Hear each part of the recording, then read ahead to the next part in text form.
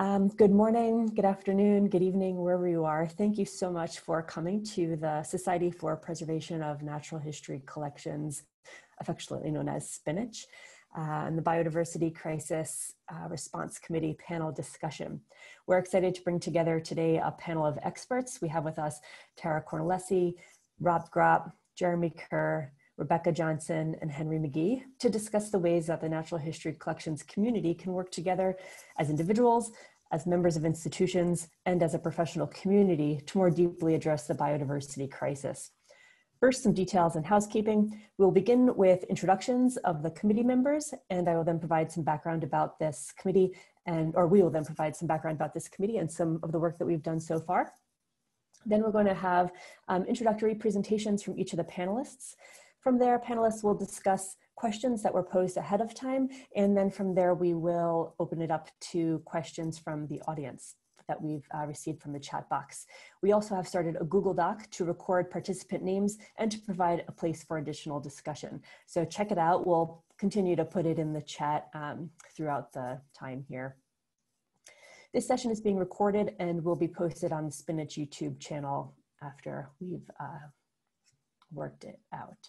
All right, well, let's jump in then. Um, first, some introductions from the committee members. So I'll ask that uh, maybe they could turn on their video for a quick second uh, for a, a a, uh, their two sentence introduction and then we can uh, go into the next round of things. So I'm Libby Ellwood, I'm chair of the committee. I'm global communications manager for iDigBio and I'm also a researcher at the Natural History Museum of Los Angeles County.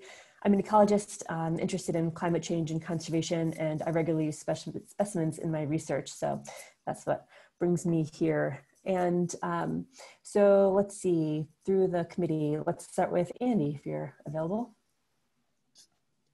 Hi everyone, my name is Andy Bentley. I'm the Ichthyology Collection Manager at the University of Kansas Biodiversity Institute. Um, I look after our 680,000 specimen ichthyology collection.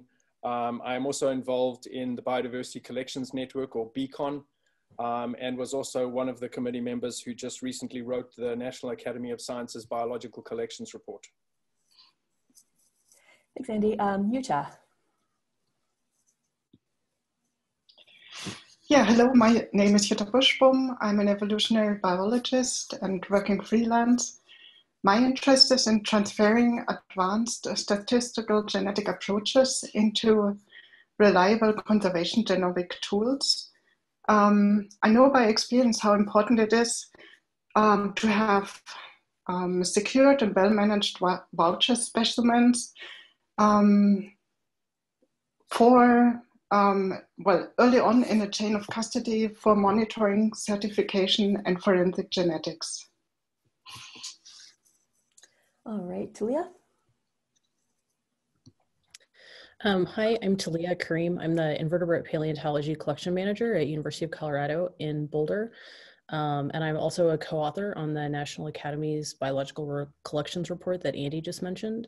Um, and I'm interested in how museum collections data get used by various end user groups um, and in some of these big reports um, that are going out about conservation. Austin, if you're available. Hi, I'm Austin Mast. I'm a professor in the Department of Biological Science at Florida State University. I serve as director of FSU's Robert K. Godfrey Herbarium and I serve as director of iDigBio's digitization, workforce development, and citizen science domain. Thank you. And Gil. Yeah, looks like you might be muted. I'm the director of iDigBio. Very delighted to, very delighted to be here. In my previous life, I was a conservation biologist, a conservation botanist, working in natural areas for various government agencies and private entities and have a very, very big interest in using collections in biodiversity research, uh, as that's what I did before joining iDigBio. Great. And Eric is going to round up our uh, introduction of our committee, and then we'll jump into a presentation uh, with some more information about the committee. Good morning, everybody. My name is Erica Wheeler. I'm the head of uh, collections, care, and conservation at the Royal British Columbia Museum in Victoria, Canada. I also represent the Alliance of Natural History Museums of Canada um, at Spinach. So um, my interests are in um, all aspects of natural history collections at this point, although my, my training is as a, uh, a botanist and a systematist. Um, really, really interested and happy to have everybody here um, to see how we can move things forward on making uh, a real impact in the world using biological collections towards conservation. And Libby, should I um, go ahead from here with the presentation to talk about? Great. Yeah, jump right in. So Andy, if you'll please go ahead and share my, share my presentation.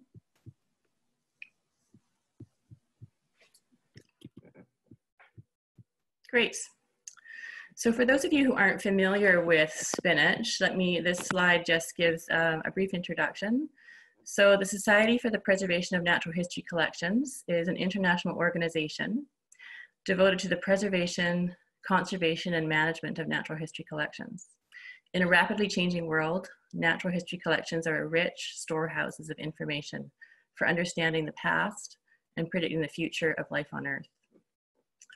Our members and their colleagues identify, catalog, document, prepare, preserve, conserve, research, develop, and share. They educate and they advocate for natural history collections around the world. Next slide, please, Andy.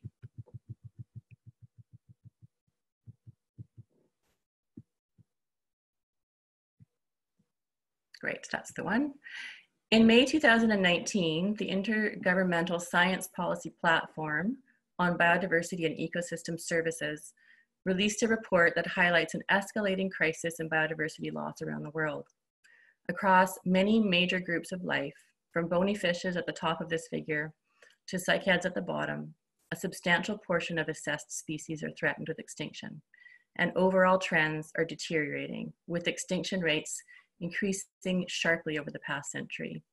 Key messages from this report are number one, that nature and its vital contributions to people, which together embody biodiversity and ecosystem functions and services, are deteriorating worldwide.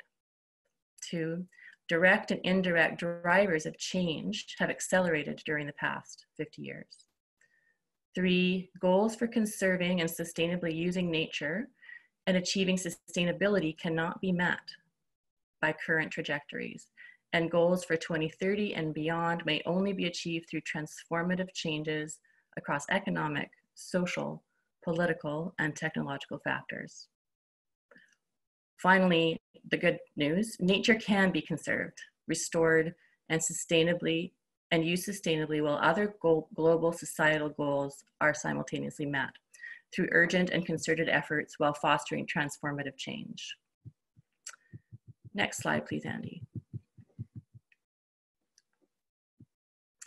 The biological collections community heard this call and the Spinach Biodiversity Crisis Response Committee was convened soon after this report was released. You've just met the committee. We are here to serve the biological collections community in matters pertaining to the biodiversity crisis and to develop in consultation with you actions we can take that will have the most impact. We're interested in hearing for you, from you and if you would like to contribute to the work of this committee. Please follow the link posted in the chat to leave your name and contact information if you'd like to follow up. Next slide, please, Andy. the committee is charged with exploring ideas and implementing actions that Spinach and the natural history collections community at large can take in reversing these trends.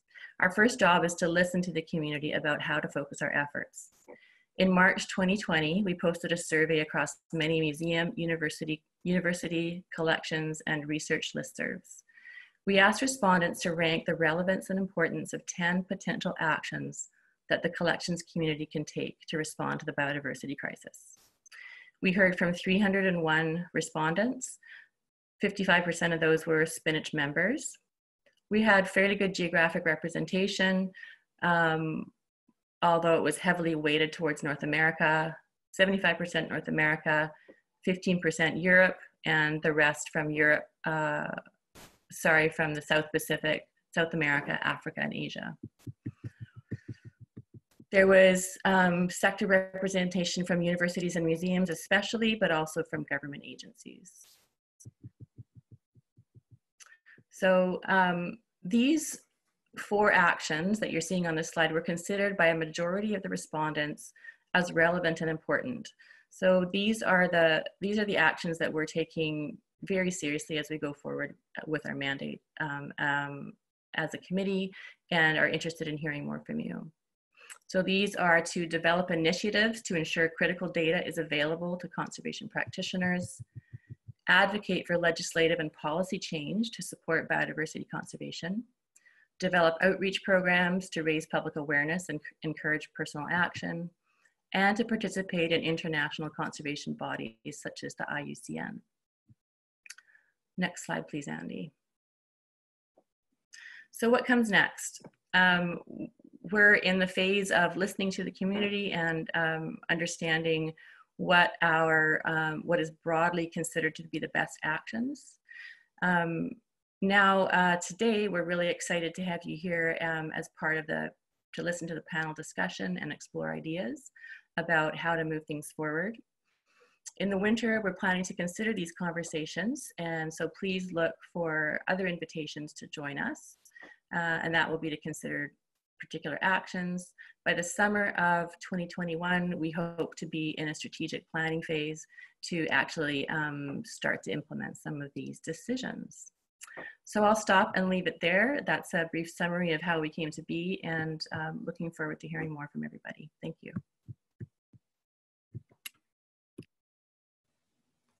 Thanks, Erica, and thanks to all the committee members for all the work that you guys have been putting into this over the last several uh, weeks and months. So much appreciated. And now we're going to segue into our next um, round of introductions, this time from the panelists, and several of the panelists have presentations to share as well. So we will um, hear from each of them. And as you are listening to their presentations, I encourage you to think about questions for our um, for the next segments of the webinar here.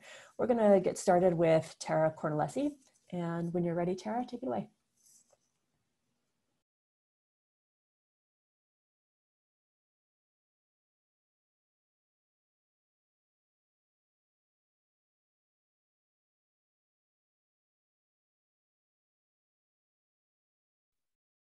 There we go. Can you see, can you see the slideshow okay? It looks like we're looking at your um, Oh, you are. Okay. That's strange. All right. Well, can you see it here? Yep, this looks really well. All right. I'll just keep it here just, just for sake of time and that's a little too much. That's fine. All right. Well, um, thank you, everyone. Um, I wanted to thank um, the uh, Spinach Committee for the invitation and also putting together this great panel. So um, my name is Tara Cornelisse and I am a senior scientist um, with the Endangered Species Program at the Center for Biological Diversity, which is a um, national nonprofit um, working to conserve biological diversity. Um, so I also am an insect conservation biologist. So I'm a conservation biologist that focuses um, on insects. And um, let me move this up here. Maybe yeah, it's not working. I'm just gonna give a little bit more. Yeah, there we go. Um, I grew up in Michigan. Um, I fell in love with insects on the dunes and shore of Lake Michigan. Um, and then from there, I went on to study them in ecology and conservation at Boston University to receive my undergraduate degree. And then after that, I went to San Francisco State to um, obtain my master's degree. And it was there that I started working on tiger beetles. Um, and I also, when I was at San Francisco State, worked in the entomological collections.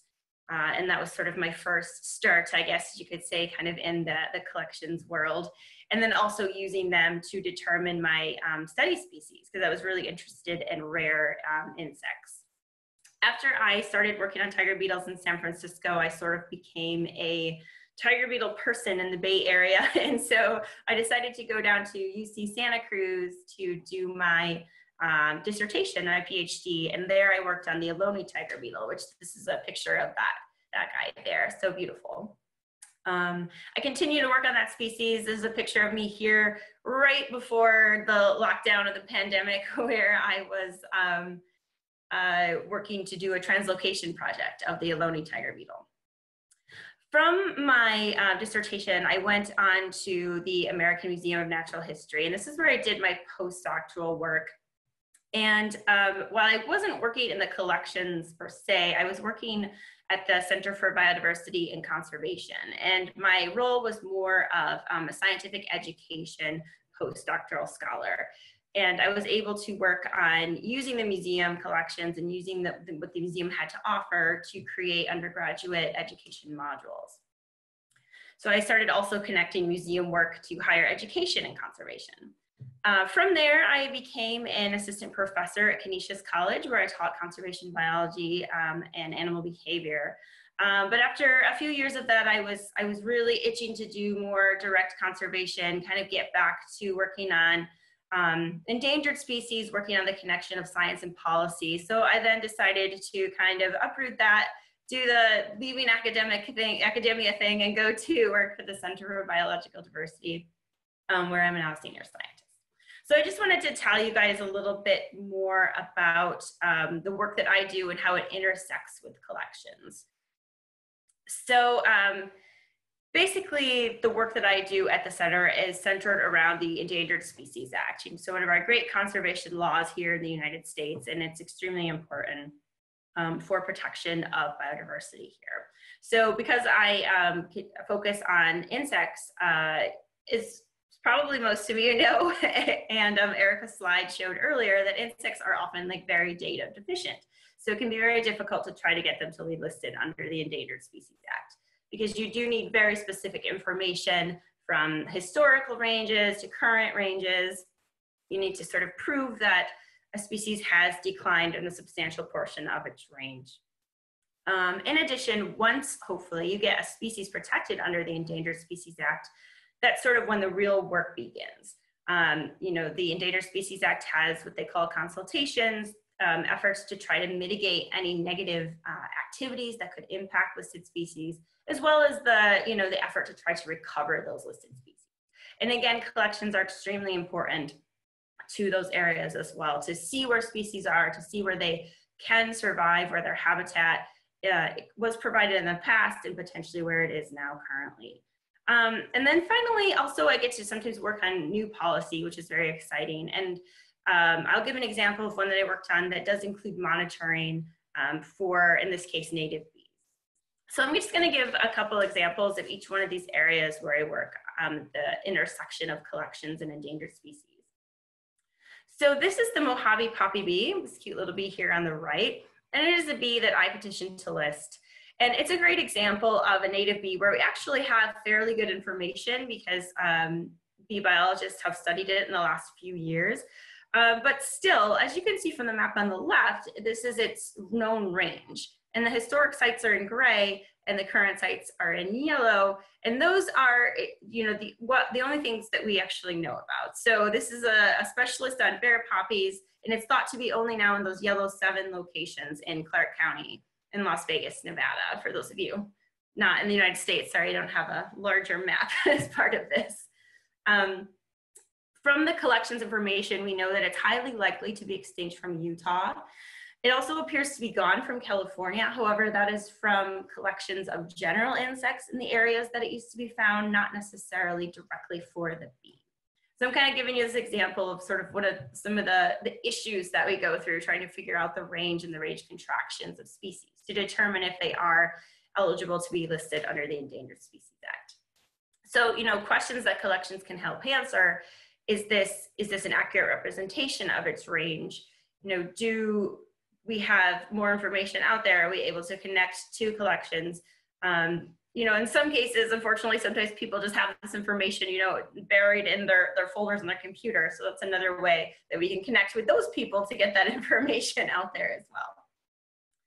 Um, so another example is, is once a species is listed. So the rusty patch bumblebees, the, our famous bumblebee that is uh, protected under the Endangered Species Act here. And it used to be a very common general, and it's a generalist bumblebee. And if you look at the map on the right, that grayed out area is where its um, historic range was. Again, that's something that we know from collections. Um, currently, Fish and Wildlife Service, because it is listed, it needs to protect the bee. And you can see those sort of, you can kind of see the red areas, but you can see the yellow areas. There's red area dots in the middle of those yellow areas. And those are the um, locations that the bee was known since 2007. So again, also important for collections. And those are the areas that the Fish and Wildlife Service is focusing on for its protection. Um, but we can continue to use collections to determine where the bee was, where it is, and then its habitat, and then its the potential best areas for its mitigation and recovery. So it's extremely important as well. Um, and then finally, an example of um, some policy that collections can intersect with that I've worked on so the Saving America's Pollinators Act um, has been introduced actually almost every year for a while, but uh, this past year, 2019 and 2020 was um, the strongest it ever was. Basically, the idea behind SAPA, as we call it, um, was to uh, ban neonicotinoids. And so this is an action that the EU has already undertaken and that we would really like to see happen here in the United States for pollinator protection in particular. So not only does it do that, but it also understands that we have, you know, a dearth of information about native bees. And so it includes uh, monitoring of native bees in the policy. Um, and so it requires monitoring in, in areas all along um, the United States. And it also requires kind of to interact with professionals, collections professionals included, to figure out the best way to catalog the biodiversity of native bees in the country. And then of course, house the collections. And then finally, I just like to show this, uh, these two figures actually from a paper that I was involved in that was published um, in January of this year called uh, um, International Scientists Formulate a Roadmap for Insect Conservation. And um, I was looking through the figure again and realizing that in fact, there pretty much you, if you, you could, if you really stretched, you could figure out how collections could uh, intersect with all of these initiatives that are needed to conserve insects, but some that are, are clear that uh, absolutely need collections and museums include things like education for awareness, citizen science, capacity building, conservation of threatened species, as I just laid out. Also, um, prioritizing performing large-scale assessments on the conservation status of insect species. So the status of these species is something we really need to know. It includes IUCN red assessments, red list. Um, and then some midterm and long-term actions, um, analyzing current data on insect diversity that is present, um, such as in museum collections. Something we need to do, you know, for insect conservation. Before we can move on, we sort of need to know what we already know and what we don't know. Um, and then a global monitoring program, which clearly, like the native bee monitoring, is, is dependent on collections. So I'll end there, but those are some of the ways that my work intersects with collections um, and how I would like to see um, the, collect the, the relationship between collections and conservation uh, move forward. All right. Super. Thanks so much, Tara. I need to. I'm having trouble getting the Zoom back to where it was, so I don't know if Andy can stop sharing my screen or not.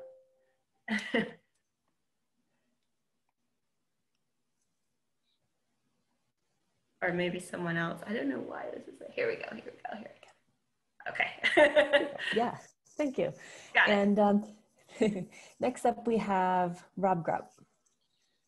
All right. Thanks, everybody. Um, glad to, to be joining you today. Um, so yeah, Robert Gropp, and I'm with American Institute of Biological Sciences and the Natural Science Collections Alliance. And since Tara started with the banana slug stuff, I will say that I actually started out, um, did my undergrad at, at UC Santa Cruz, um, and then uh, progressed into um, sort of more ecological and, and grassland related work in grad school at Oklahoma, but still managed during grad school to do a couple of conservation projects involving um, insects. So looking at populations of American burying beetle a couple decades ago, I guess. Um, anyhow, after that, I transitioned into, I guess, the world of science policy, where I've, um, public policy in general, really, where I've kind of been hanging out for the last um, couple decades. And really working, whether it's from federal agencies or from Congress or nonprofits, wh- wherever the sector, in, in terms of how do we promote science-based decision making? How do we um, try to infuse data into to our processes and policies? Um, and so I've worked on that from a number of different perspectives. And um, so I think what I would like to try to do today is just toss out a few things that I think are, are opportunities for this community to sort of strengthen its message and, and move the needle forward. Um, but there are also a couple of, of areas where I think biology, sort of at large, has often had a hard time sort of um, rallying around its own message. And so um, again, from my perspective, um, you know, working with AIBS and, and the Natural Science Collections Alliance, which are two organizations that try to and, and you know, unify natural history collections, leadership, or um, in the case of AIBS, the scientific community around common challenges and really what, what can we do to sort of promote increased investment, increased utilization of, of research, science-based um, decision making, um, you know, quality information, and all all those sorts of things.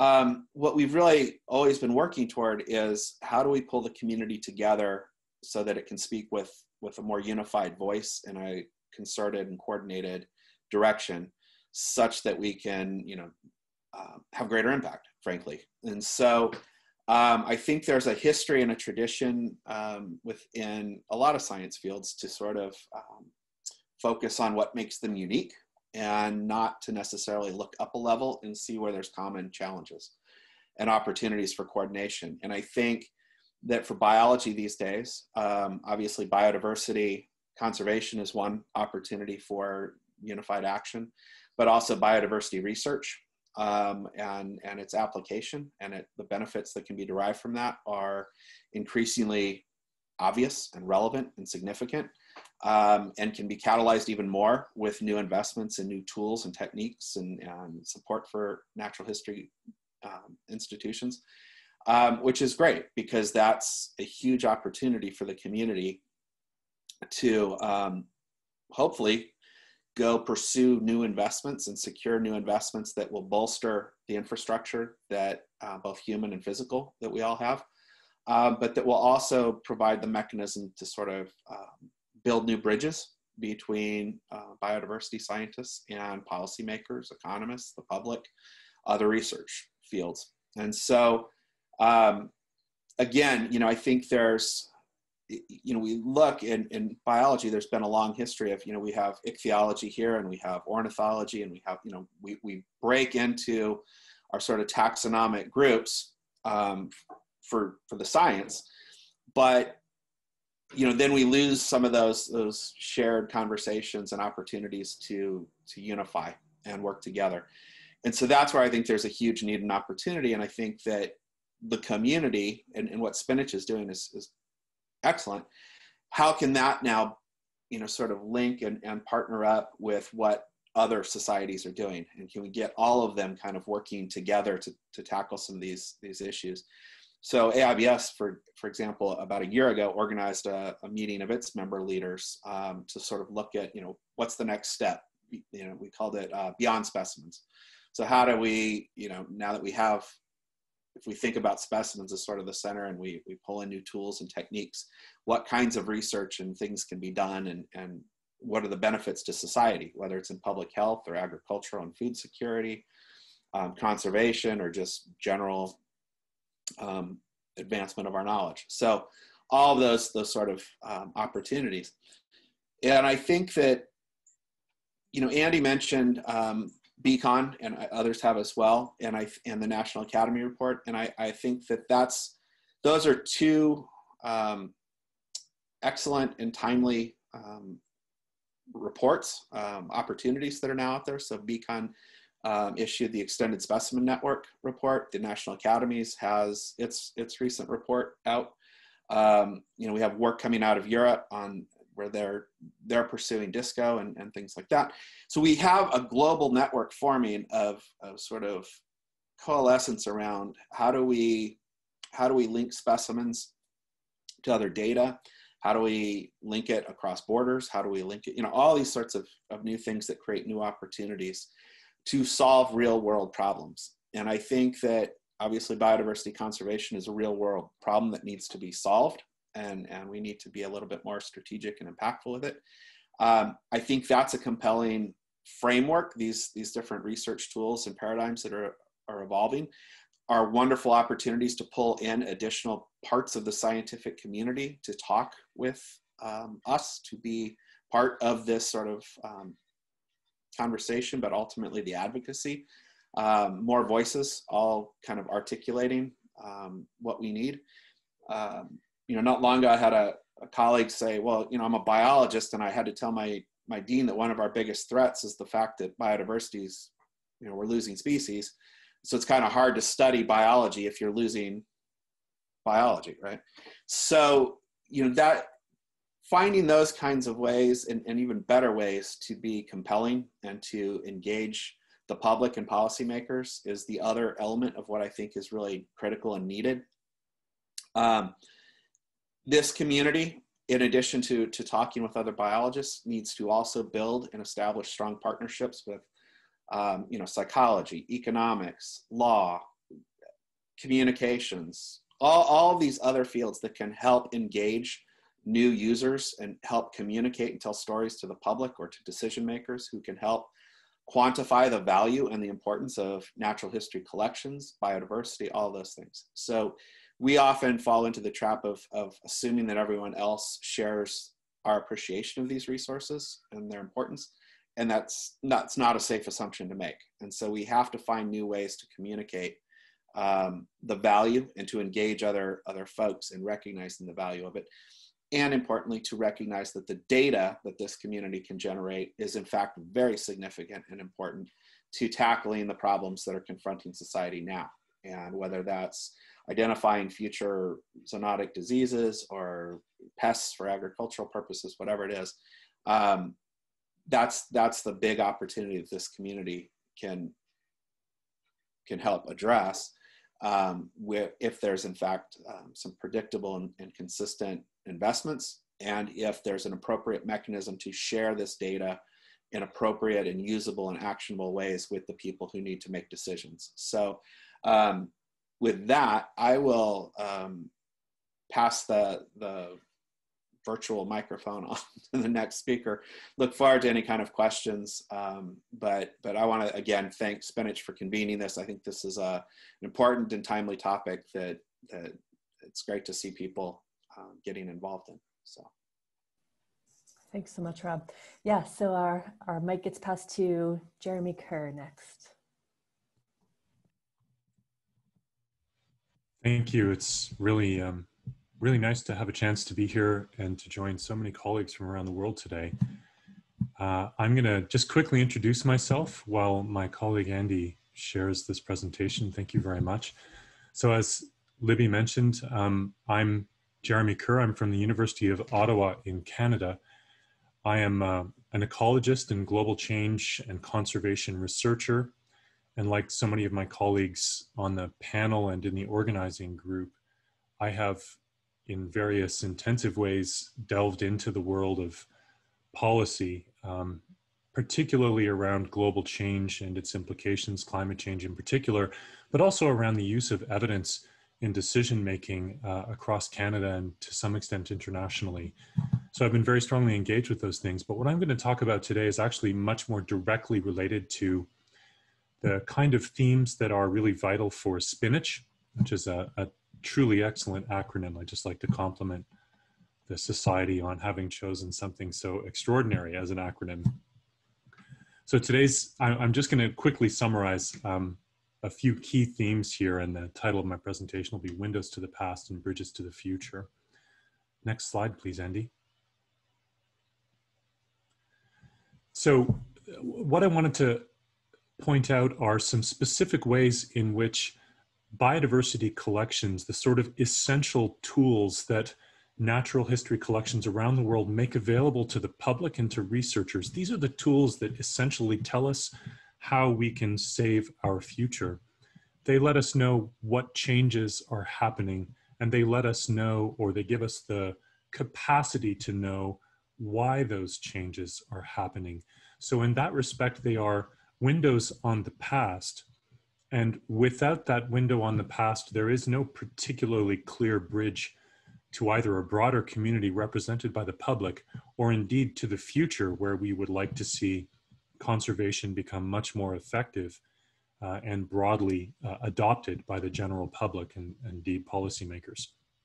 So what I would argue is that natural history collections also give us the capacity to ensure solutions for conservation are more inclusive. And I'll explain what I mean by that in just a moment. Next slide, please, Andy. I think we all realize that the rate of environmental change that we are now confronted with is extraordinary and indeed in most important respects unprecedented. And this is now recognized through the, the general belief, although I don't think it's official yet, that the Anthropocene has begun. This is denoted by the rap rapid acceleration of human domination of global biogeochemical processes. And one of the emergent consequences of that global um, change in who controls what controls biogeochemical processes is that we are looking at the sixth mass extinction. Uh, and so extinction rates for basically every single group for which any sort of monitoring information exists, those extinction rates have all gone exponential. We are, as a consequence, looking at very substantial losses of species in the coming century and exactly what those losses will be remains a point of scientific contention. But for purposes of my presentation today, that number is, is not important in particular, except that the number is very, very large. So that's something we should be concerned with. Next slide, please, Andy.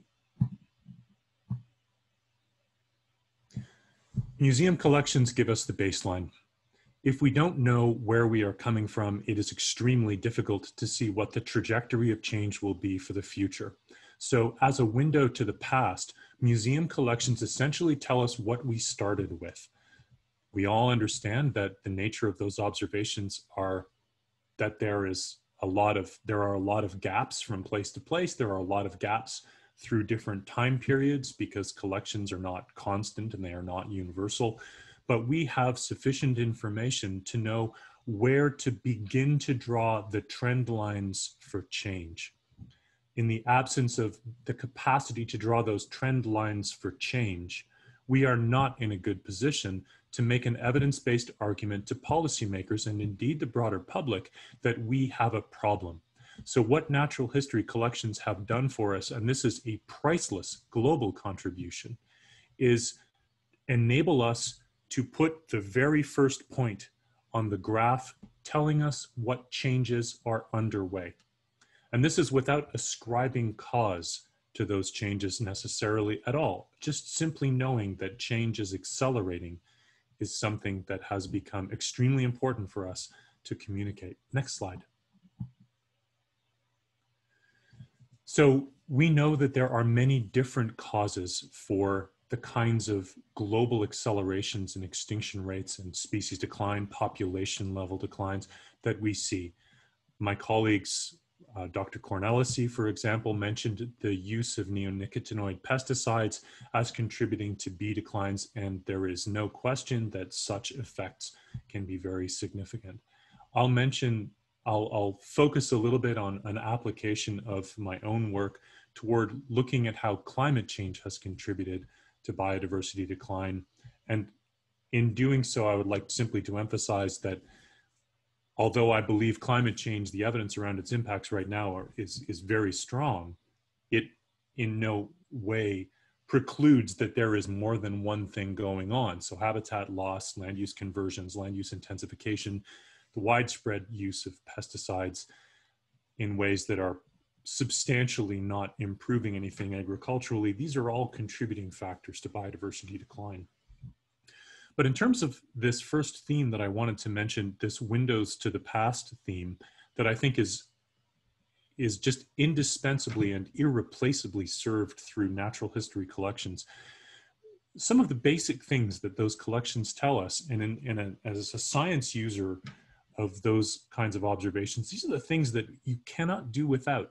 They tell us species locations through time and space. they give us the capacity to make inferences about the role of environmental change in changing those distributions in time and space. And then they give us the capacity to do that last step in the chain, which is simply test whether or not those trends are related. Does environmental change of one sort or another predict what has happened with biological diversity through time?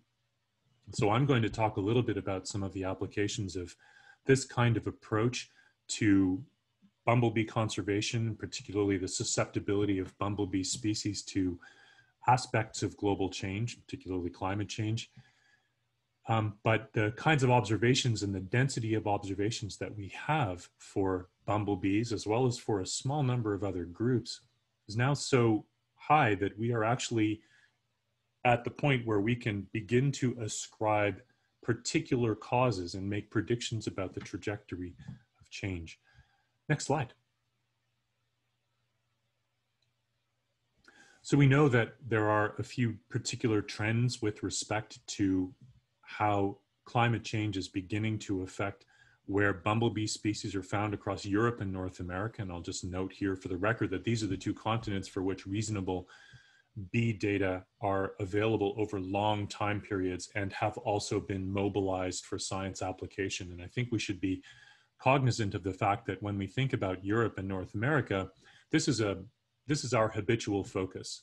It's determined by data availability predominantly, but we have to be careful not to exclude the, the other continents on planet Earth uh, and recognize that these environmental changes are also occurring in distinct ways in those places and that they interact with human activities and human cultures in those places and that needs to be part of our thinking. But with respect to what we know in places like North America and Europe, we are seeing evidence of widespread geographical range shifts with respect to bumblebees, but they are not of the sort that we see with other groups, butterflies, for example. So with respect to bumblebees, what's happening is that their ranges are rolling up like a rug from the south, and this is occurring as a consequence, we think, or at least it's occurring as a in sync with uh, rapid warming in those areas. And so bumblebee species are disappearing from the hottest places that they have historically occupied. We need to be aware that the implications that we are losing or seeing declines in pollinator communities across broad geographical areas touches on the kinds of ecosystem services that we have historically taken for granted. Next slide, please. So I'm hoping that this animation is going to work. Okay, so thinking about this correlation between changing climatic conditions and the loss of bee species across broad geographical areas invites the question, why is climate change doing this? And I think we also have to account for the fact that environmental change is, you know, and when we measure it as climate change, is actually not experienced by eh, most species. I mean, most species never experience climate change. What they experience is weather differences. They don't live long enough to experience climate. They live for a year or less. And this means that the mechanism, the pathway for the impacts of climate change necessarily comes through the likelihood and extremity of extreme weather conditions. So extreme weather is growing both more frequent and more intense. If you measure the frequency and intensity of climate change with respect to the tolerances that species have, and you put that together and make predictions across broad geographical areas, what you find is that this actually explains a meaningful amount of the trends that we see with respect to bumblebee species declines across both Europe and North America. The reason that this kind of work is possible to do is that natural history collections have provided us with this window on the past. They are telling us where species used to be found. They are telling us that species have moved into new areas, have declined in areas that they historically occupied. So that window to the past is the reason that mechanistic links with between environmental change and biodiversity change can actually be tested at all. And that is the foundation for providing evidence-based perspectives to policymakers. So as happy as we all are about being able to do really interesting and fun science, we have to recognize that the building blocks for that science is actually coming out of these natural history collections that are being marshaled and made uh, mobilized for, for broad use. Next slide, please.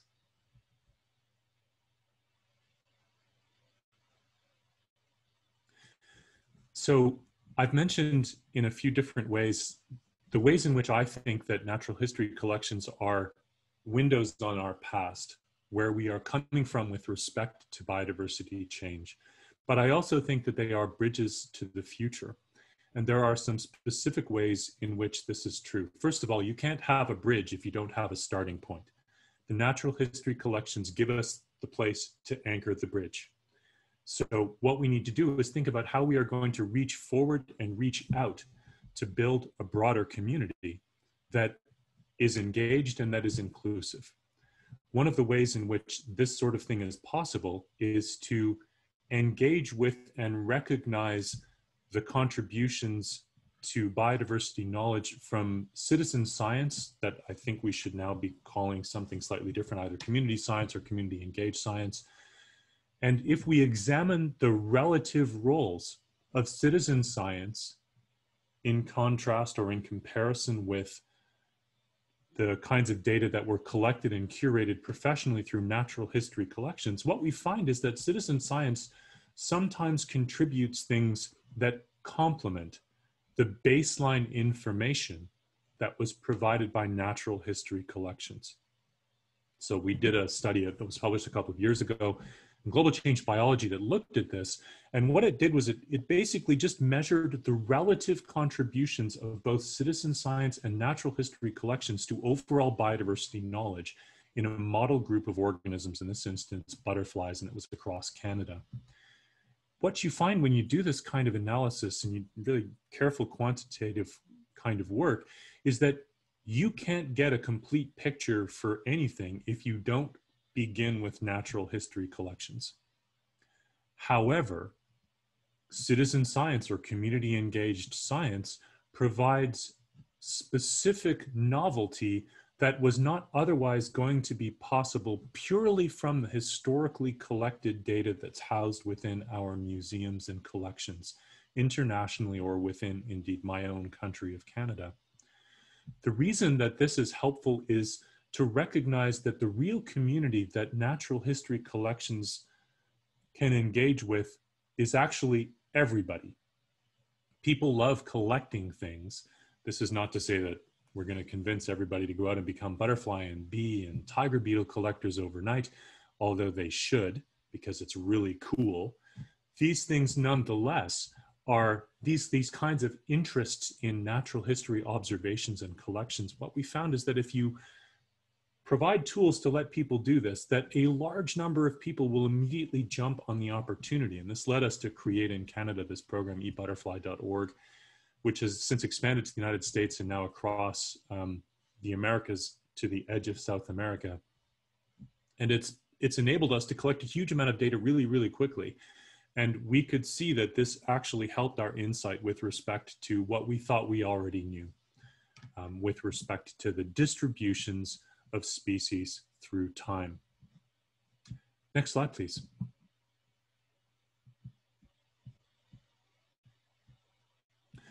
So natural history collections are vital. I don't think we are going to find a way forward for conservation unless we are able to marshal what we already know. So in a sense, you know, this window on the past that natural history collections provide us makes them into a kind of a time machine that lets us go back and see what the world used to look like with respect to where species were found. This is vital for the capacity to provide insight into the future. But that baseline knowledge is also the mechanism that lets us reach out and engage a broader community through citizen or community based science. There are so many ways in which we can bring those two solitudes together to build a, a bigger and more effective whole that will let us establish policies that might make a difference with respect to conservation into the future. Next slide. So I just wanted to say very quickly thank you to the really superb organizing committee who put this session together. Thank you so much for the chance to talk about one of my favorite things and also to the really amazing panelists that I get to share uh, today's platform with. It's a real pleasure to be here and thank you. Thanks so much, Jeremy. Next up, we have Rebecca Johnson. Thanks, Libby. Uh, I'm just trying to share my screen, but don't think I have, not sure if I have access. Should have. I made you a co-host, so you should be able to share your screen. Okay.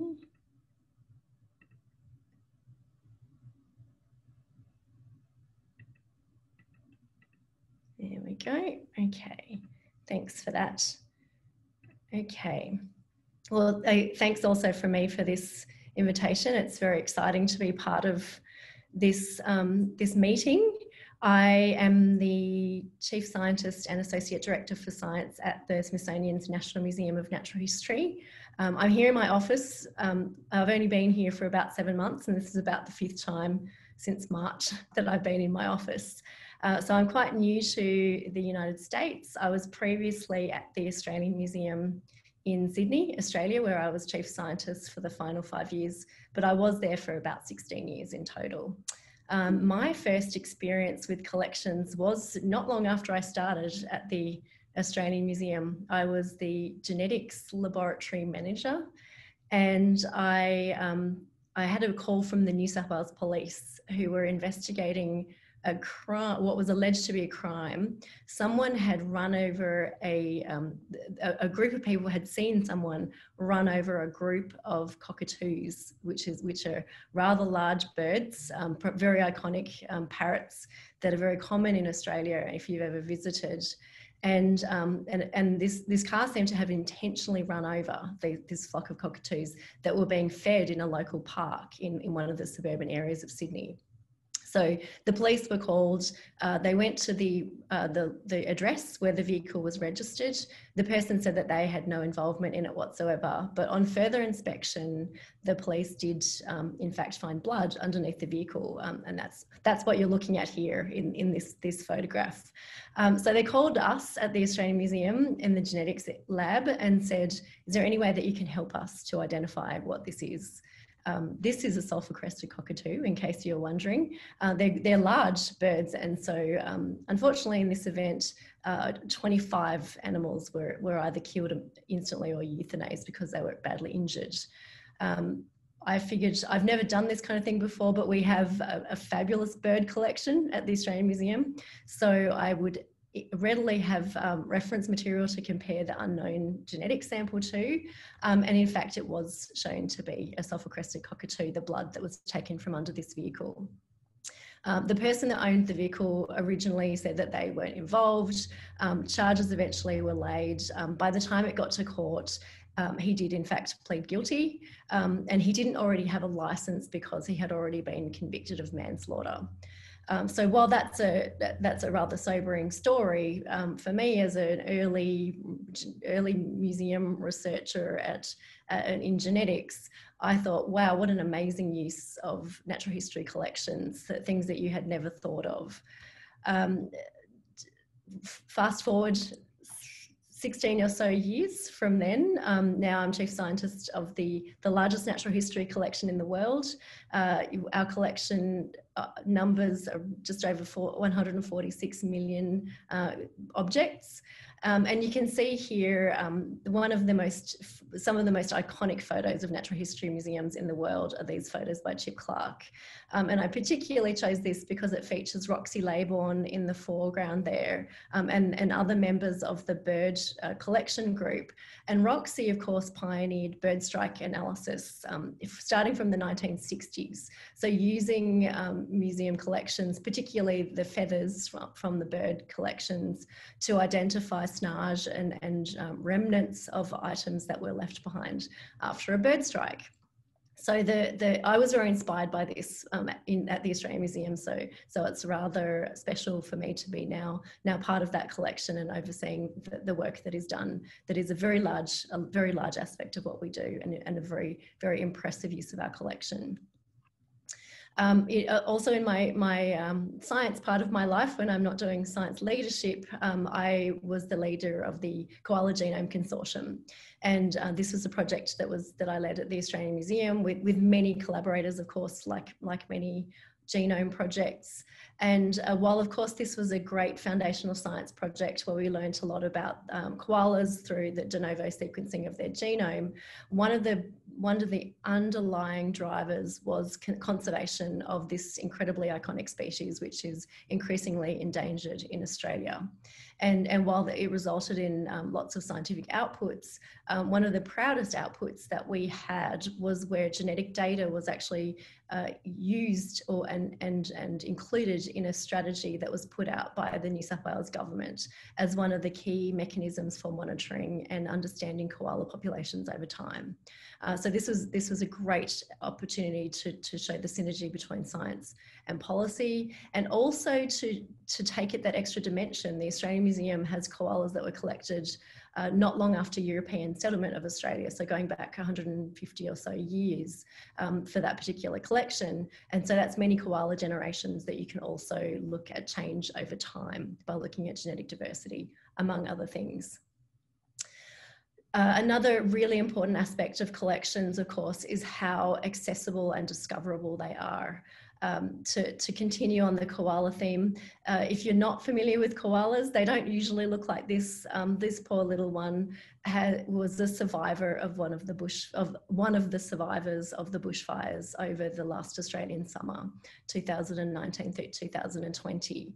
Um, and, and as, as part of a number of expert panels um, advising on koalas, I was with colleagues was asked to to understand exactly what the impact was to koalas and other other um, other, other species as part of the biodiversity of Australia. This is a map, um, and this is in the early days of the fires. The hashed area of this map of Australia are the areas that are, were thought to have been burned.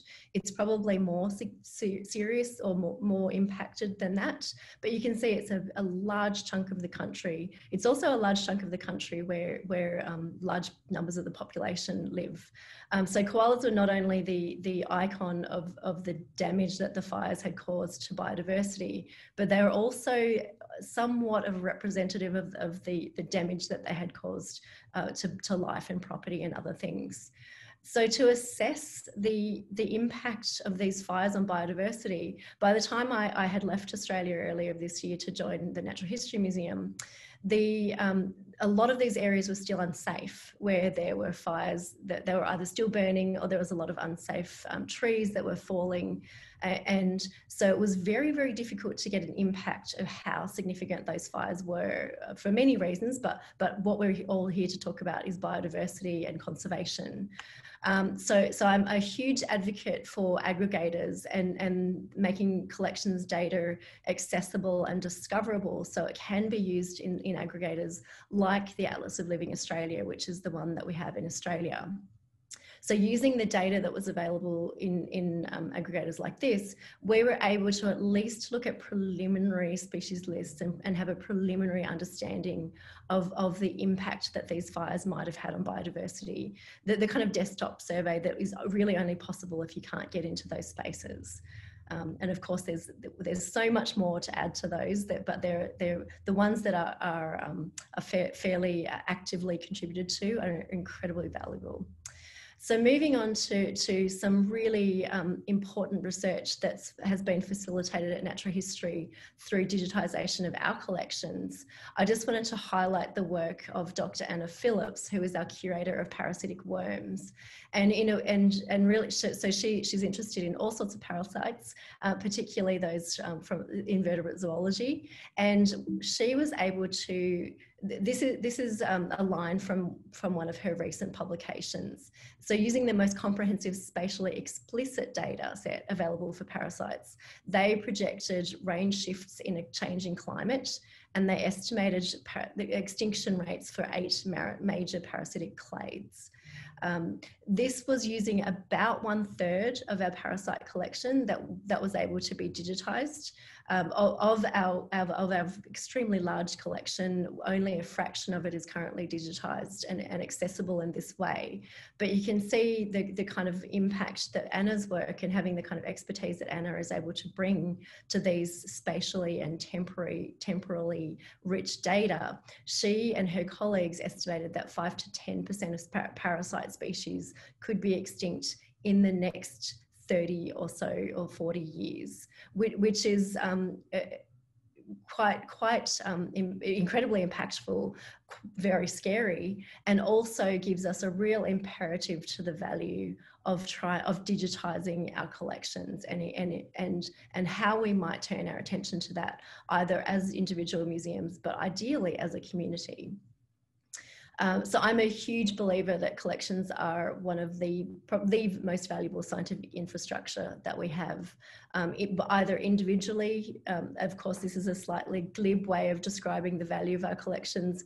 There, there's more than one use for every object in our collection, um, and and every single one of them helps to our understanding and our improvement of our of our understanding of, of our world. I'd like to also thank the organisers for um, the invitation to be here. I'll leave you with some of these extraordinary photos of Chip Clark and, and uh, like my fellow panellists, I'm, I look forward to the discussions that we're going to have. Thanks so much, Rebecca. And um, last but not least for this intro round will be Henry McGhie. Hi, so just to, to share my screen, hopefully. Can you see, see it okay? Yes, looks great. Right, so I'll do the, um, okay. so, so I'm uh, Henry McGhie. I'm, uh, I work now as a, a, museum consultant based in the UK. And um, I would say that I've been working with natural history collections for about 36 years, although I'm about, four, well, 48. Because I, I mean, I was, to me, collections make a, they make perfect sense. I was totally obsessed with nature growing up. I collected lots of things boiling bodies up, all that kind of thing. Um, and then my, the collection I've put together is in a museum now, because I built up quite a good one, so I lived in the countryside. Um, and then my kind of whole career has been about um, nature and the environment in different ways. Um, and I've worked in museums for, for a long time at, Manchester in the, in the UK mostly. And I think one of the, the points I kind of, that I have to remind myself of again and again is that, that for many people, museums, they just don't make instant sense. And so that's why I included this line here that for me, I got into museums not because I was interested in conserving natural history collections. I got into them because I was interested in nature. And I would say that for many people, that, that the same applies. I think it's, this is a bit of a presumption, that most people come to museums not because they're interested in looking at old faded dead things in cases. They come because they can see the connection between what's in a museum and nature. They want to do something about it. They're interested. And so that's my first bit would be if I had a, a magic wand to, to shake would be that SPNHC and your committee is, you know, be, becomes um, kind of can, can articulate that, that that the value of natural history collections is, is in the impact that they can, they can make on conserving nature. And then, as I say, my whole career really has been about looking at, well, how can we just try to get this thing to work better? I mean, I've got a background in, in ecology and science and got a bit fed up with that because, you know, the, in my, in my naive youth, I used to think I'll become a scientist, I'll go and do these things and people will just apply them, and it's just not how the world like works. I got it became very frustrating, to be honest. Then I thought I'll get into museums and work with education because surely education as well that that'll that'll work. And I realised it's got a part to play, but again, it doesn't solve everything. And then I thought, well, no, maybe policy, that's what we need. And then eventually, as I've got older, I've realized what we need is we need all of these things. So we need um, collections and we need people as individuals for sure and communities and we need expertise and i think one of the, the reasons i really like uh, museums is because at a time when people are desperate to break out of silos museums are quite hard to put into one. They kind of straddle different different things, a bit of education, you know, schools, lifelong learning, universities, working with policymakers, science, all, all of these things exist a bit, you know, more or less in museums. So they're a kind of very comfortable meeting ground that can help some of these discussions to take place. And then kind, kind of as I've got older, I've been thinking, well, you know, what, what difference would it make to the world if a museum didn't exist? It's quite an uncomfortable question to ask museums, but what, why, why do we have these buildings full of millions of things, often with, you know, more or less, you know, sad pasts?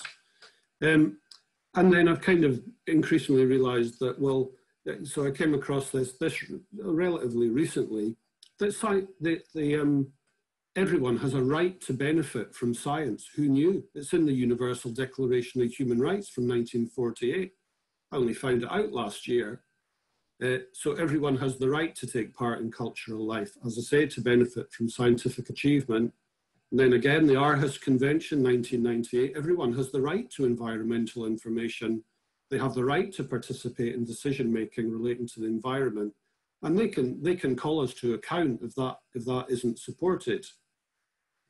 And so what I've kind of realized is that a lot of these um, agreements, these rights, they already exist, but there's a really weak or non-existent connection between these rights and people on, you know, in, in the street. And museums are, I would hope everyone would agree, museums are really implicated in these things. So they have a kind of responsibility to live up to them but it's also a role to play in society, and I'll keep going with this, this vein. So there are, are already exist a number of uh, declarations on, you know, museums, they want to do this stuff. So there was the Science Center World Summit in Tokyo in 2017. They adopted this um, Tokyo Protocol on, on the role of uh, science centers it was in supporting the Sustainable Development Goals. And then in 2018, the United Nations and all the world's governments, they included museums in the work program for the Paris Agreement. Fantastic achievement.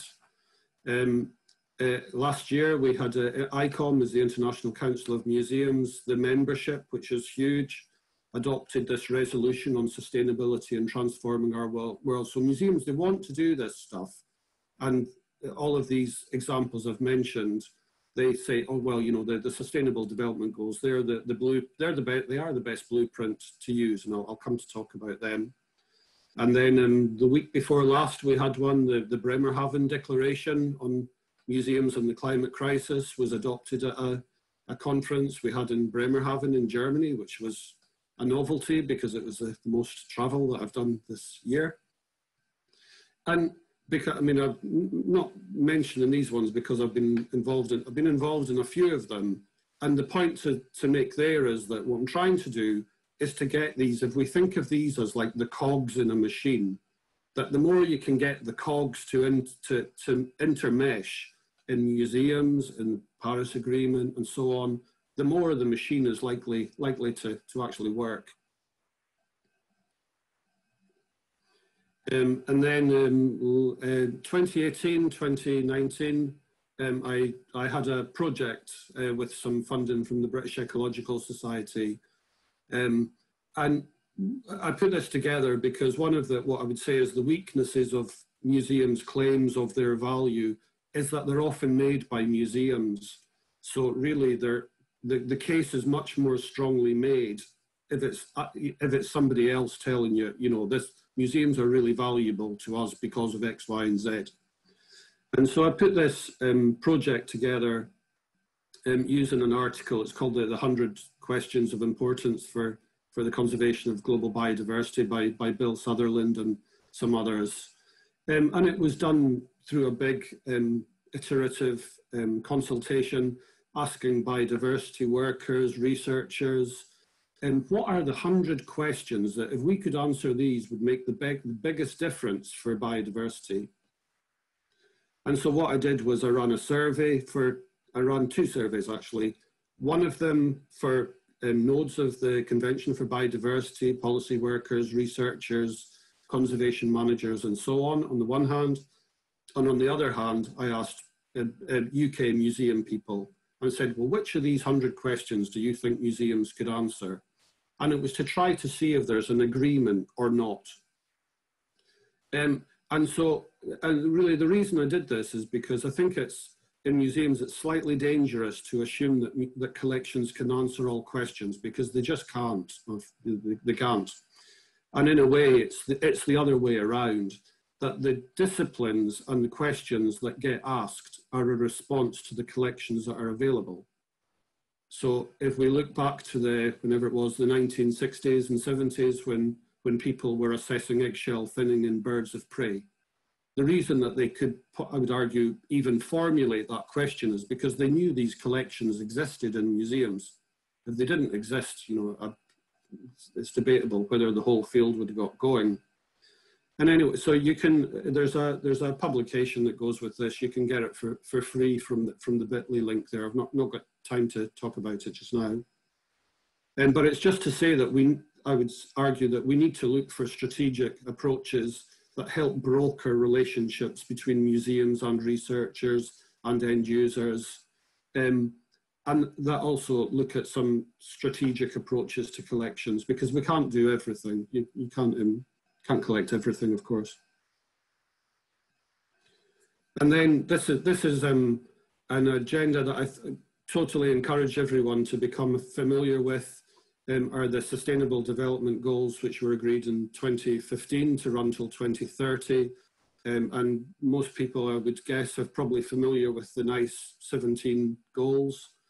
Um, really, the thing to say is that they don't make sense unless you read the vision that's in Transforming Our World, which is absolutely excellent. And the reason that I mention this as being so good is that, um, as I mentioned, things like the Convention of Biodiversity, 1992, the um, the Rio Convention, uh, sorry, not the Rio, the UNFCCC, UN uh, Framework Convention for Climate Change. All of these things, they all mention the importance of public engagement and participation. And we're 30 odd years down the line, and it's taken till now to recognize that in a way. So the, the reason that the goals are so great is because they already incorporate all of these different um, big picture um, uh, agreements. And they're also really helpful because they help to make sure that in addressing one problem, you're not just creating a problem for someone else. You have to address these things all together. And there, there are some very obvious links between these and natural history collections, uh, not just in terms of goals 13, 14 and 15, but in terms of all of them. And so I, I, put this this together last year. So it's a kind of easy introduction to the Sustainable Development Goals for museums. Uh, and again, you can get that for, for free from the, the bit.ly link. Uh, and as a measure of how much interest there is in this, so this has maybe been downloaded maybe 11,500 times, pretty much everywhere. So this is, this is why they are so great, is because they apply everywhere to all sectors. They are a kind of ready-made common language that we can all, we can all, all share they're, they're, they're brilliant. And then my last um, uh, shameless plug is for, um, I'm involved in a project called uh, Reimagining Museums for Climate Action, um, which a team of us are working on, and it leads to a, a, exhibition that, that will be in Glasgow ahead of the, the COP, the Climate Change uh, Conference next year, and, and at the same time. And we're super interested in hearing from anyone who's, who's just interested in the idea. So so please get in touch. And that's, that's my last slide. Thanks, Henry. And thanks to all the panelists for those really in-depth introductions. I think that gives us a great point from which now to uh, follow up with some discussion points. And some folks have provided questions ahead of time through the link that was provided um, with the Eventbrite invitation. And then we've had some great questions in the Q&A box there as well. So how we'll work the rest of the time here is um, we'll start with some of those pre um, pre-provided questions and then jump into anything that's left in the Q&A. So if you have any questions, please feel free to put it in the Q&A box. And I invite the panelists, I see Jeremy's already jumped in there, to respond directly to folks um, if things seem most relevant to your area. So let's jump in now. This question is uh, kind of in two parts. I tried to merge a couple of different questions and it goes like this. What innovative, unexplored, or new opportunities do you see for engaging natural history collections to mobilize their specimen level data for conservation? And then the, the second part is getting into the specifics of it when we talk about regions of the planet with the most biodiversity, potentially those regions are also those with fewer resources, and thinking about populations that are underrepresented, underserved, small collections, folks that generally are, are not currently at the table. And um, I know this topic could fill days of discussion, so perhaps we could focus on a few succinct points. And I'm going to apologize in advance for um, jumping in a little bit to keep us on a, a set time here. And um, not to put you on the spot, Rebecca, but if you had any um, first thoughts on this, um, I know that you'll you'll need to jump off before too long. Um, if you wanted to get to kick us off with this. Um, sure. Uh, if, I, if it's okay, um, I might jump to the second half of that question, course, yeah. which is um, ensuring that everyone feels engaged and included in, in valuing biodiversity and contributing to valuing biodiversity. Um, and, and we see repeatedly that most of the, even, even the collections from the most megadiverse countries tend to end up in the big museums, predominantly in the Northern Hemisphere. I would say um, we need to ensure that the that people from the home countries of those collections need to be at the table, and we need to be. This is a um, probably a, a, very different way of thinking, but um, collections are probably um, often criticised for being quite colonial and now is the time that we need to change that. We, we need to make sure that the, the people, people who probably have a lot of knowledge about those collections and a lot of knowledge about those species, uh, either through traditional knowledge or, or just you know, it, it, being one of their endemic, one of their, or many endemics, they need to be part of that conversation. Um, we think about this a lot at Natural History. Um, it's obviously a very big conversation in Australia as well. And um, it does require going a little bit more slowly. Um, there's there's a, another conference going on this week, which is um, the Biodiversity Genomics Conference. Um, and there's a lot of discussion there about how, what does it mean when we open genomic data and, and, and um, it's, it is appropriate to ask for permissions and, and to ideally start collaborations right from the beginning or second best scenario involve the, the home country people, people from the home country of those organisms in a collaboration that uses those data. Thank you. Uh, would other panelists like to chime in as well? I say something? Yeah, please. I think I mean, this, this discussion about the, um, the balance of um, resources is often in the big museums in the global north, but whereas the impacts are felt in the global south, and, often in the global south. And I think personally that that puts a big responsibility on making at least the information from those collections available to the people in those countries who can make, let's face it, most use of it.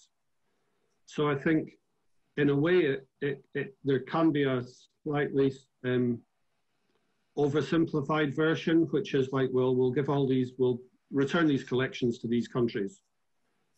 There's not enough time to address these challenges. We need to get moving with addressing the challenges now. So at least it's certainly involving communities and understanding, well, what are the problems and the questions that, that they want to answer with these collections rather than the global north assuming that, oh, well, we'll do all this stuff. And then, because that's just not how things should work. It should be based on, on the need, I, I think. I'll maybe just uh, add a, a, brief note to Henry's really excellent point, and then both Rebecca and Henry have, uh, I think, hit the, the critical themes here but we need to be very careful to avoid a savior science where people with a lot of privilege kind of helicopter into communities and explain to people who have been living with this species in their environment for time immemorial you know what they really need to be working on. And i think we need to spend a lot more time listening to communities who want to have real authority and control over the systems with which they share their environment you know not not to have us explain to them you know this is just like a horrible patronizing disrespectful thing to do to show up and, and tell everybody you know let, let me help you understand the environment you live in. This is not to say that you know science in general isn't sometimes going to provide surprises that can affect any community anywhere but i think that these kinds of engagements need to begin with listening not explaining. And the other part is to ensure that those communities are leading um, the local initiatives not being tapped on the shoulder so that we can kind of helicopter in take the stuff we were really interested in, helicopter back out, and you know they're kind of left wondering what just happened. You know, we see this kind of thing over and over and over again. It happens all the time with Indigenous communities in Canada. this is not the model uh, for for how to proceed. True engagement requires sustained interaction that's based on respect and listening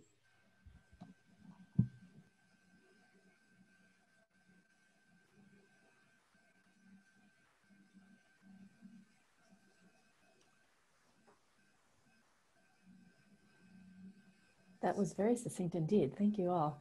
Um, I will jump into the next question here. Um, is activism compatible with professionalism?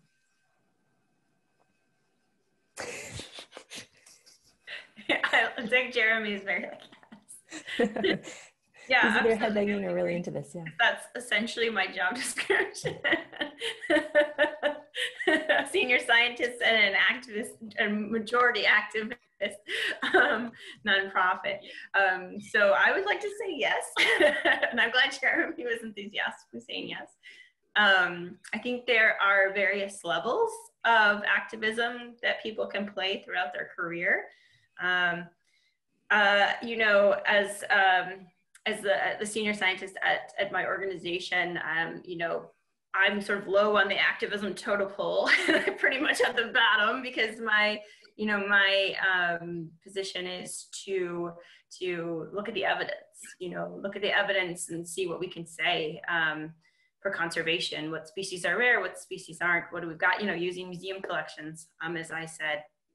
So um, that's my job, and um, you know, what we do is based on the scientific evidence. Um, you know definitely, you know, we also have a media and communications team that have goals to get information out there in certain ways. And so sometimes, you know, obviously that's a little bit splashy, um, but definitely it's grounded in the evidence. Um, and so that's what I do. So, so I would say yes. I mean, I'm not sure else how to answer that question, but maybe if, if other panelists, I would actually like to hear from other panelists too, just because I probably am the most um, activist of, of all of us. I'll uh, jump in with with a couple comments, I guess. I mean, I I think um, there's absolutely a role and a need for scientists to engage with policymakers or the public or you know wherever in that continuum.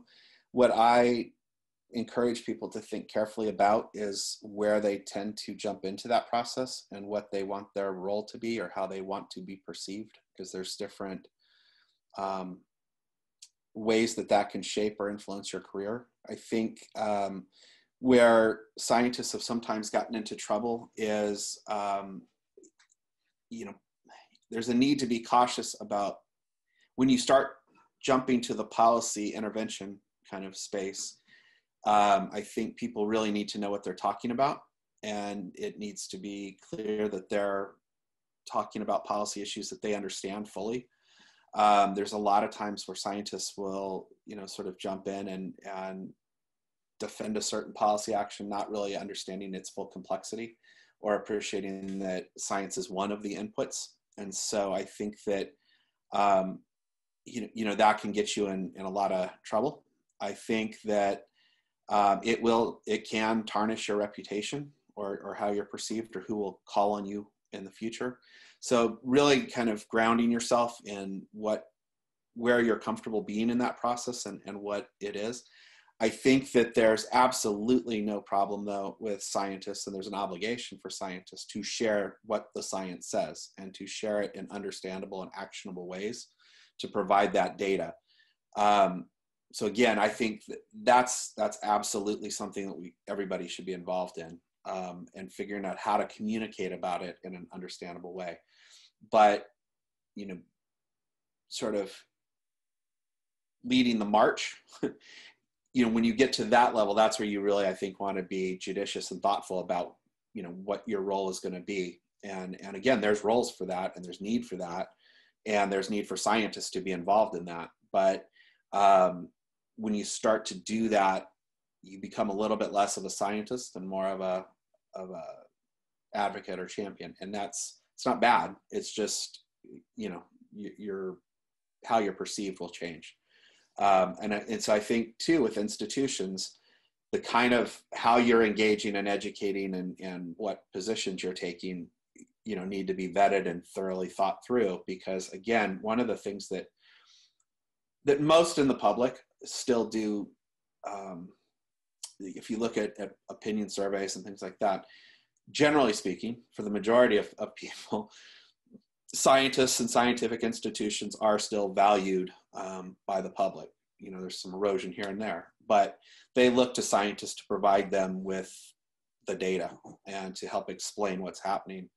And they they don't want to feel that that's getting pulled um, by agendas. And you, you, we can see this now. You know, I mean, um, if you watch in the U.S., for example, um, the COVID response, and you watch how um, let's say Dr. Anthony Fauci has been able to sort of walk a line.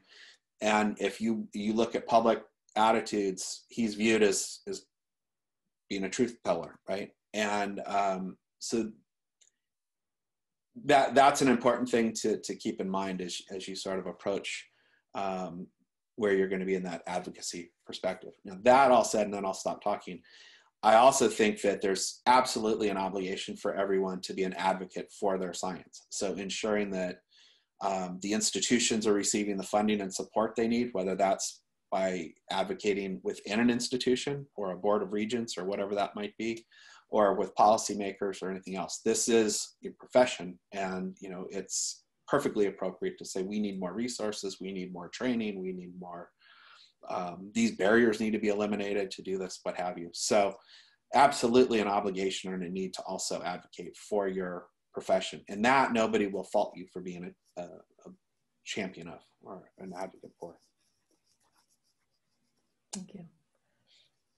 Um, Rebecca, thank you so much for joining us today and for your um, for all of your insights. We look forward to continuing the conversation with you. Thank you so much. I apologize that I have to jump off a little soon. Um, it's I've learned a lot and I, I look forward to hearing how the conversation unfolds. Thanks. I, I wanted to make sure to um, um, thank Rebecca, but we could also continue this um, discussion um, about activism and then I'll jump into the Q&A. Yeah, Henry. So, so I just wanted to say something about um, because this we had a bit of a discussion about this last week when we were sort of preparing for this, and there is something in this about. Um, I think we have to be very clear about what we mean by activism because these words get get used and they mean totally different things to different people. And I think there's kind of two points I'd like to make. Is, is one of them is like I mentioned this last last week is the importance of, of being clear about the difference um, when we say that museums are neutral, and I think people often mean that often mean that museums should be impartial, because neutral implies you're doing nothing. That's a total waste of public money, to be honest. Um, but museums are, I, I, would hope, impartial, and scientists should be um, very well versed in this, with the sense that, that science is impartial. Um, and I think the other thing to say with that is that in a time when society is so like split into all kinds of bits, the more that public institutions can work to bring groups together has um, is more important than ever because if we're not, if we don't, and we're sometime and we're somehow seen as taking some kind of side, then then that's that's no use. That's that just that just increases the splits. I've got something really quickly. If anybody else has got something, I don't want to intervene or cut anybody off. We need to be very careful um, that we understand that the last hill that science dies on is the one that has to do with the collection and dissemination of evidence. The fact that reality is becoming a partisan issue is not something that we should permit um, to redefine the role of science in society because I think, as Henry quite aptly said, if we agree that science should no longer be present in public discussions, then we have consigned ourselves to societal irrelevance.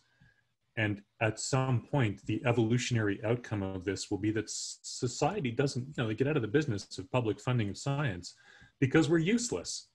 So I think we need to be awfully careful not to agree to consign ourselves to extinction by virtue of having had, you know, kind of unhinged politicians and mercenary public relations people decide that they really want to keep facts out of the public consciousness.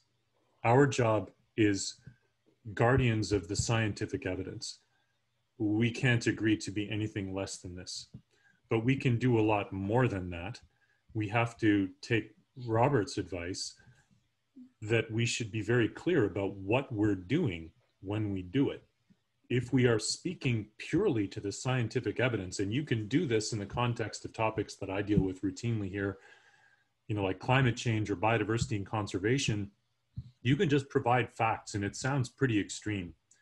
So you know that's okay. I mean i'm i'm conveying information in a strictly factual way and i am wearing my science hat to do so.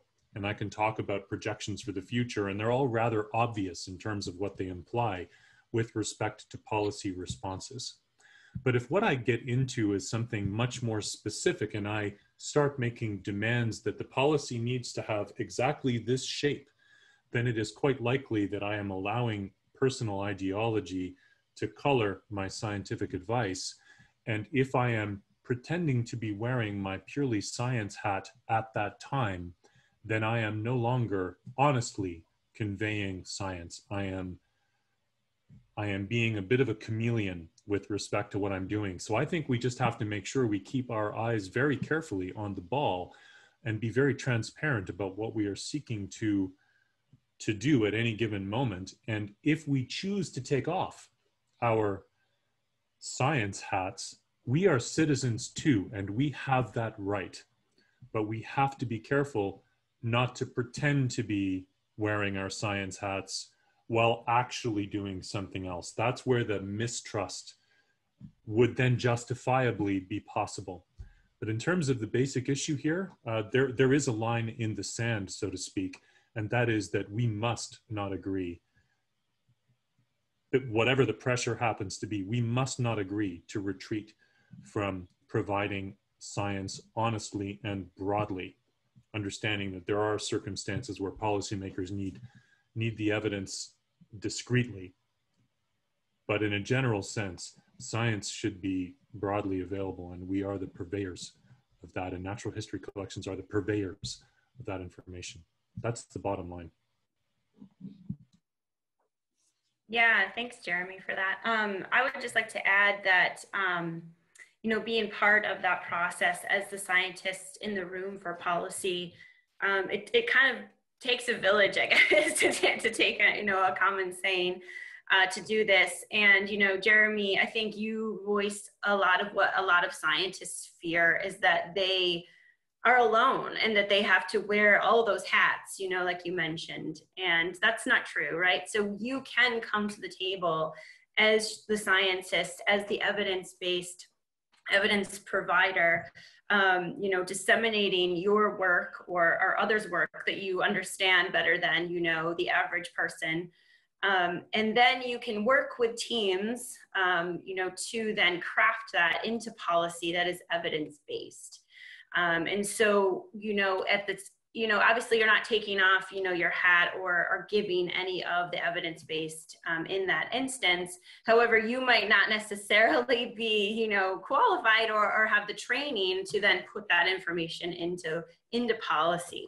And so being able to work with people who have that political science background and able to put that in is, is extremely helpful. And, and being the scientist in the room, you know, you've got to, keep providing like you said keep providing you know the evidence keep providing the information that that we we know. Um, unfortunately, I think sometimes when it comes to bridging the divide, there's this issue with uncertainty, right? And as scientists, we are trained not to ever, you know, we, we can't be certain on a lot of things, right?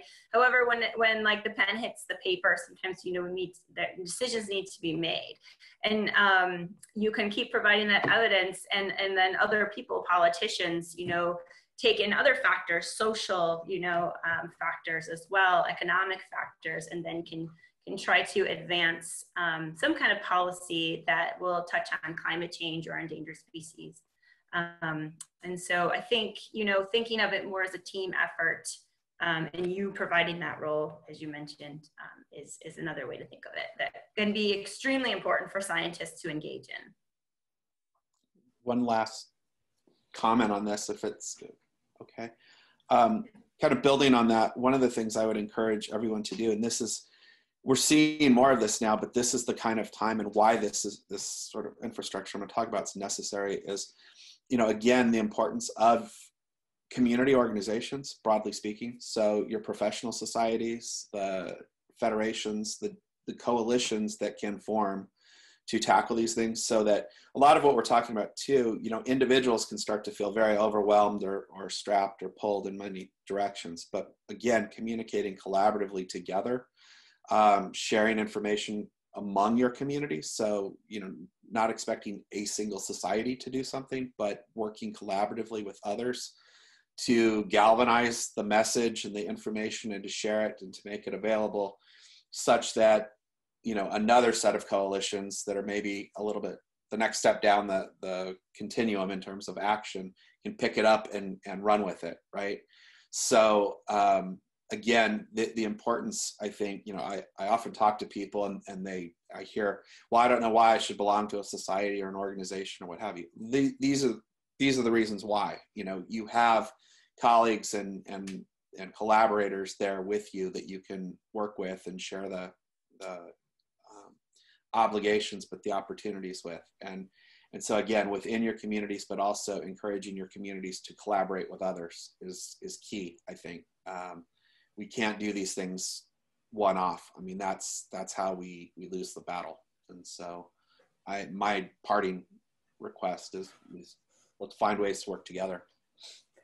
Thanks, Rob. That's a great segue into some of the questions, a couple of the questions that have popped up in the Q&A related to funding, because I think um, how do we fund the science that we are describing as well as the collaborations and those connections that need to be made? So um, one of the questions is is there evidence that major conservation funding bodies are starting to value funding for basic research to provide the foundation for conservation of diverse tropical groups such as insects? This is from Keith Willmott.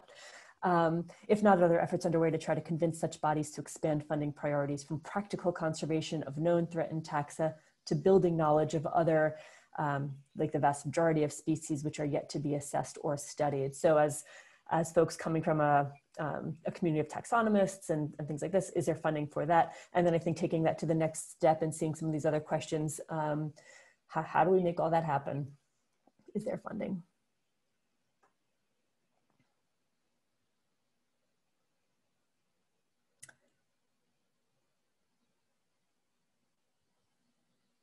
Uh, I can try to say something. It's a difficult question to answer. Um, but, you know, as, as the example I gave of the Saving America's Pollinators Act, you know, something, and this is something that I was able to, to help. Um, again, I was working with large team to kind of put that together.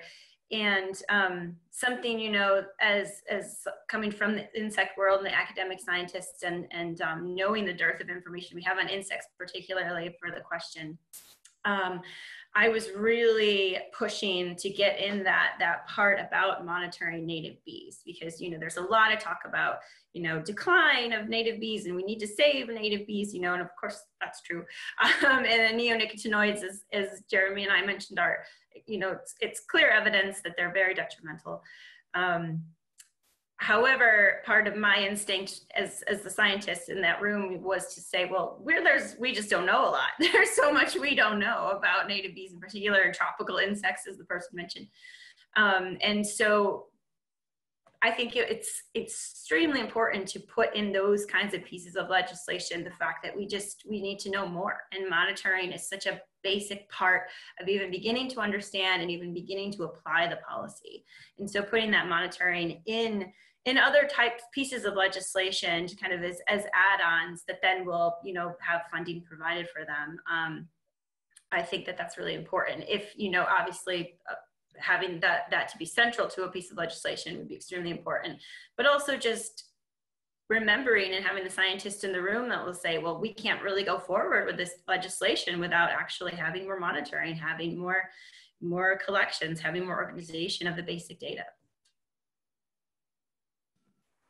Yeah, Henry. Can I say something? Please. For me, part of the part of the solution to this is to make more of the collecting that already happens that that never makes its way into a museum. There's loads of collecting happens, you know, for for studies, and it it doesn't get into museums, and that that seems to be a, a terrible wasted opportunity to me, and that's part of the what I was talking about, the kind of there's just not enough collaboration between uh, universities and, and researchers. And I mean, how, how, many PhD projects must there be every year that are based around a collection that just that just get thrown away? And that's so making more effective use of the funding that already exists would seem to me to be to be a crucial step in this. Just a couple of other comments, and these are I'll, I'll start with sort of a, uh, what, what's probably more of a U.S. Um, centric kind of perspective. But I think that part of the challenge that we have in the in the states relative to this is how the funding is allocated, right? So you have private sector foundation funding that's just sort of out there um, that can be hard to kind of find or quantify or, or coordinate.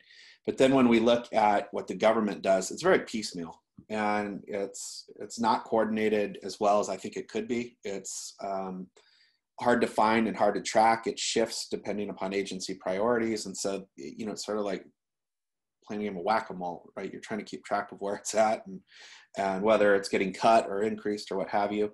Some of it's very specific to let's say a, a, a agricultural pest, whereas other things are are more fundamental, like go understand biodiversity, you know, NSF related funding. So there's there's a real challenge in terms of figuring out how much we're actually spending, but then two, making sure that what we're spending is in fact coordinated.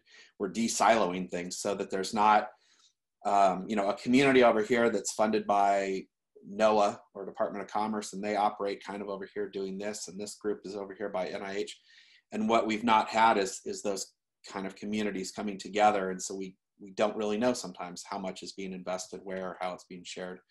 Again, I think one of the opportunities to, to fix this is, you know, looking at these sort of new kind of calls for collaboration, whether it's extended specimen or it's, it's you know, anything else, that's really talking about how do we pull these things together. And so in the US, you've also got the interagency working group on scientific collections that could be doing more to sort of help coalesce that and, and understand what's happening across the government that then you know needs to partner up with what's happening internationally so that we know and, and leverage what's happening around the world. You know how can we maximize the impact um, of the dollars that are being spent on on research and not be redundant you know how do we become more strategic with it? So i think there's again this is this is on the community to really make a more vocal push to say these are the kinds of resources we need. We need greater coordination. We need greater transparency as to where they're at and what they're being used for. And, and you know, this is what's missing and where we need more.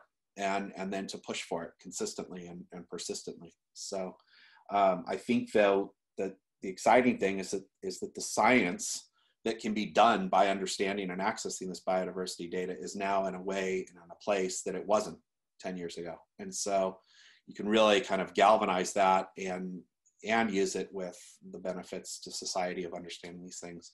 I think there's a real opportunity to make a global push, but it, it needs to be done in a coordinated way and, and with great precision and, and persistence. Yeah, um, looking at the time, we probably have time for one or two more questions um, before wrapping up. So um, scrolling here, I see uh, we have a lot of great colleagues in the audience from Latin America. And so there are some questions about engaging with uh, and building relationships with Latin American institutions uh, with regards to conservation.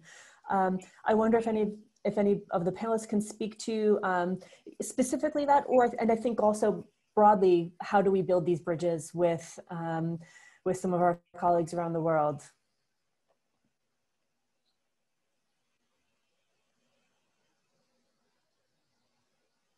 Or, or maybe um, uh, examples of maybe how you have done that personally, if um, if that's applicable.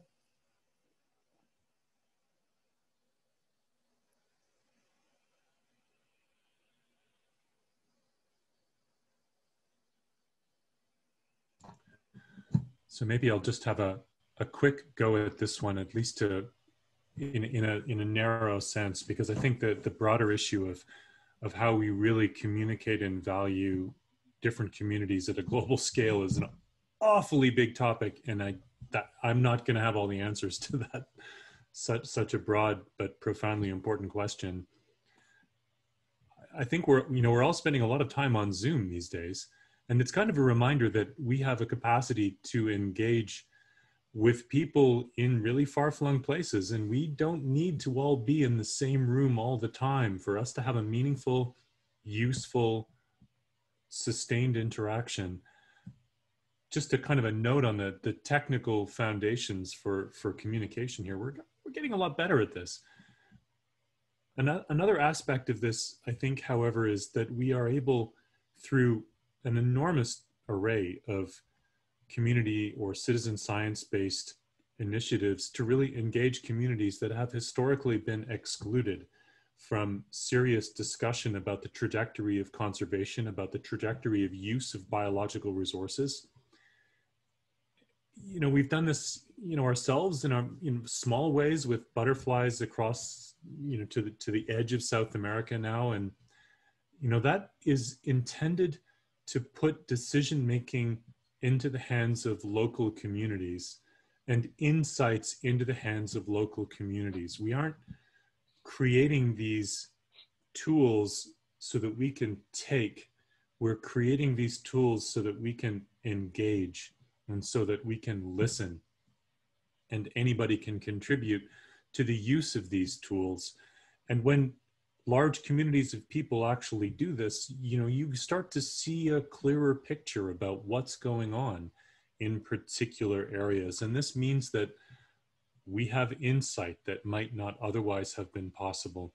We need to, I think, really recognize and, and value, first of all, the idea that we should be listening more, but also that foundational kind of concepts like citizen science and the use of the tools that are associated with citizen science give voices to communities and give voices to institutions that may have very different funding models than the very you know the, the venerable and powerful institutions that have often been so dominant in our past with respect to natural history collections the smithsonian vitally important.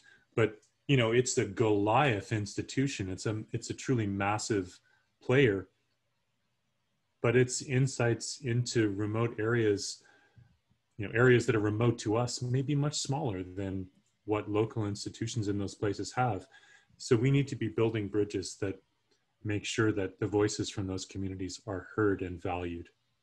I think community science gives us one mechanism to sustain that kind of dialogue. Thanks, Jeremy. Yeah, that, that's a very good point, and I think is a, a good segue also into um, one or two other questions that have popped up around education and educational initiatives. Um, obviously, community and citizen science play a role in education and providing participants great um, uh, informative experiences. Uh, I wonder if anybody else on the panel can speak to uh, education in any form as it relates to what we're talking. Yeah, Henry. Um, so, so um, one of the, just to kind of fly the flag again for the Sustainable de Development Goals, is one of the great things about them, I am flying the flag now, is that there are so many resources available around them. So like UNESCO has a whole portal on education for sustainable development that's themed around the goals. And uh, there's one of the one of the SDG targets is around uh, education for sustainable development. Um, and so I would say that it's, it's, a, it's a fantastic resource and uh, also to say that um, how museums can help play, help um, people access some of the big picture uh, initiatives. So there will be the, obviously the, the post-2020 biodiversity framework. There will be the decade of ocean science starts last uh, next year. The decade of ecosystem restoration again starts next year. And so say when there was, there was a decade for education for sustainable development that finished in 2014 or 15, and almost, no, almost nobody had heard of it. And it's because people hadn't played a part in it. So there's a, there is a big opportunity now with the, particularly the ocean science and the ecosystem restoration. And I think particularly because the decade for ecosystem restoration it, it has a kind of positive sense to it. It's about doing something positive rather, you know, as a, in the in the face of so much uh, challenge and doom and gloom.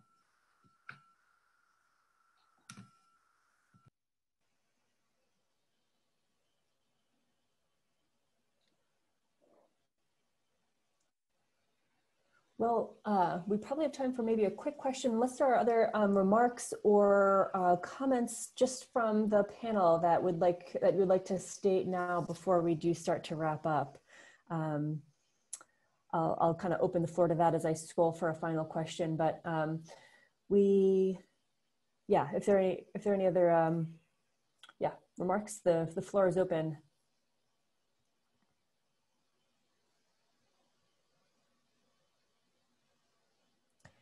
And if not, I will pull from these other questions about the, um, let's see, digital repatriation.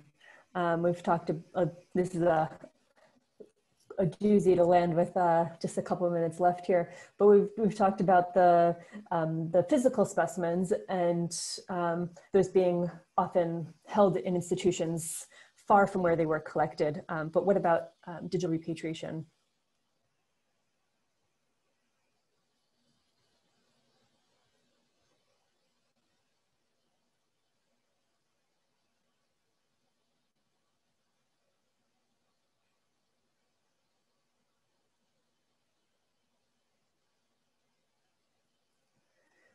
Well, we could all agree that's really important, I suppose. But uh, Rob, Rob, were you about to jump in there? No, I was. I was just okay. going to say. I, I think yeah, it is a, a substantial question. I don't have a, a, good answer for it. I think it's a lot of conversations. I think there's a meeting of, of some groups talking about aspects of that um, later today.